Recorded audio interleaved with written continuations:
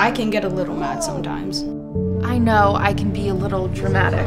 I'm sorry. The fact is, we're teenagers. Who the hell is Grant? He's just a No, forget it. This is over. This breakup, it was terrible for me. I even thought it may be easier if I just ended. Even though I'm young, I know what suicide is. And most suicide is done with firearms. But you locked your firearms. Thankfully, you locked your firearms. Because you locked it up, you saved my life.